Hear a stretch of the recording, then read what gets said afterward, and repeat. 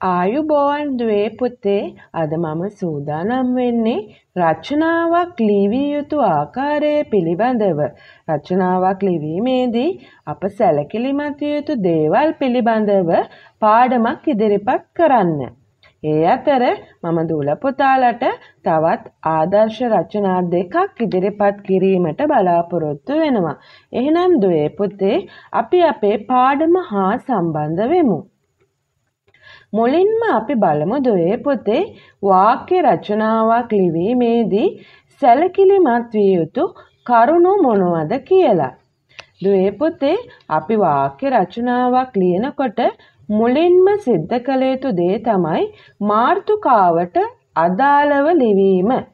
ඊට පස්සේ අපි මාතෘකාව හොඳින් කියවලා බලලා ඒ අනුව රචනාව ලිවිය යුතු කාලය තීරණය කරන්න ඕනේ. ඒ කියන්නේ මාතෘකාවෙන් දැක්වෙන අදහස අපි ලිවිය යුත්තේ අතීත කාලයෙන්ද නැත්නම් වර්තමාන කාලයෙන්ද අනාගත කාලයෙන්ද ඔන්න ඔය ආකාරයට සුදුසු කාලය තීරණය කරන්න ඕනේ.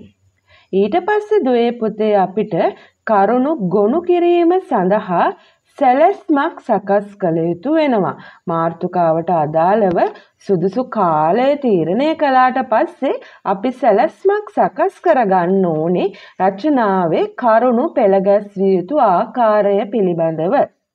ඊට පස්සේ දුවේ පුතේ අපි සැලැස්මට අනුව වාක්‍ය ලිවීම ආරම්භ කරන්න ඕනේ. අපි ඊළඟට බලමු දුවේ පුතේ වාක්‍ය රචනාවක වාක්‍ය ලිවීමේදී සැලකිලිමත් විය යුතු කරුණු මොනවද කියලා. දුවේ පුතේ මුලින්ම අපි අවබෝධ කරගත යුතු දේ තමයි අපි සූදානම් වන ශිෂ්‍යත්ව විභාගයේදී අපිට සඳහන් කරලා තියෙනවා අපි ලිවිය යුතු වචන ප්‍රමාණය පිළිබඳව. ඉතින් දුවේ පුතේ අපි මුලින්ම කළ යුතු දේ තමයි ලිවිය යුතු අවම වචන ගණන පිළිබඳව අවධානය යොමු කරන්න ඕනේ. ඊට පස්සේ අපි වාක්‍ය විවිධත්වයෙන් ලිවීමටත් සූදානම් වෙන්න ඕනේ. ඒ වගේම තමයි දුවේ පුතේ එකම අදහස ඇති වාක්‍ය දෙවරක් ලිවීමත් අපි නොකළ යුතු වෙනවා. උක්ත ආඛ්‍යාත සම්බන්ධය නිවැරදිව ලිවීමත් මෙහිදී අපි කළ යුතු වෙනවා. උක්තයට අදාළ නිවැරදි ආඛ්‍යාතය නැත්නම් නිවැරදි ක්‍රියාපදයේ යෙදීම අපි සිදු කළ යුතු වෙනවා.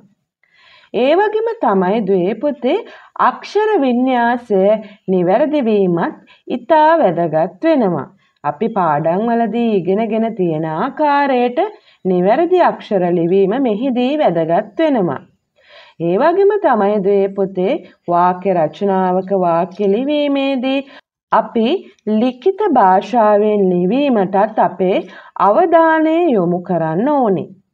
ඒ වගේම තමයි දුවේ පුතේ පැහැදිලි අත්තකුරෙන් ලිවීමටත් අපි වග බලා ගන්න ඕනේ.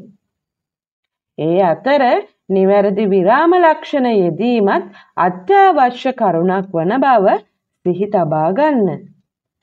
ඒ වගේම තමයි දුවේ පුතේ අපි වාක්‍ය රචනාවක් ලියනකොට නිවැරදිව වචන වෙන් කර ලිවීමත් ඉතා වැදගත් වෙනවා.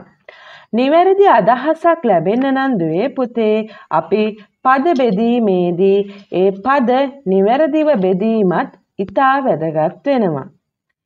අවසාන වශයෙන් දුවේ පුතේ අපි වචනයක අකුරු නොගෑවනසේ ලිවීමත් ඉතා වැදගත් වෙනවා.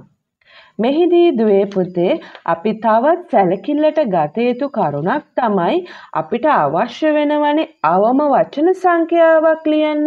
ඉතින් මේ අවස්ථාවේදී අපිට අපේ වගන්තිය ටිකක් දික් කරගන්න අවශ්‍ය නම් අවශ්‍ය වචන ප්‍රමාණය රැස් කරගන්න අවශ්‍ය නම් අපිට පුළුවන් මේ අවස්ථාවේදී උපමාවක් යොදන්න විශේෂණ පදයක් යොදන්න ඔන්න ඔය ආකාරයට අපි ඉගෙනගෙන තියෙන දේවල් භාවිත කිරීමෙන් අපිට පුළුවන් ඉතා අලංකාර නිවැරදි රචනාවක් ගොඩනගන්න.